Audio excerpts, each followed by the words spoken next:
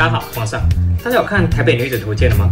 我在看第一集的一开始，我的鸡皮疙瘩就掉满地。首先是一个女生，她走路走到她的高跟鞋鞋跟断了，然后天心就说：“台北女生啊，走路走得多。”后面啊，这什么超硬的字路啊！浩哥的叶配都没你硬啊！而且不是应该吐槽台北的高跟鞋品质也不过如此吗？哈！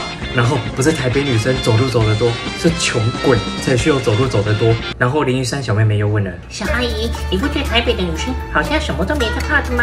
然后小阿姨就回答说：怎么可能？怕的东西可多了，怕穷，怕丑，怕失败。小阿姨，我就问你，谁不怕啊？这是怎样？台南的女生喜欢穷，高雄的喜欢丑，这样吗？然后零一三小妹妹又开始心里各种 OS。台北的女生看起来好不一样哦，她们都有自己的样子，在这里充满着各种可能。不是，妹妹，你只是走在路上跟几个路人擦肩而过，你也太多感想了吧？这台词比我一个月不打手枪还硬，救命啊！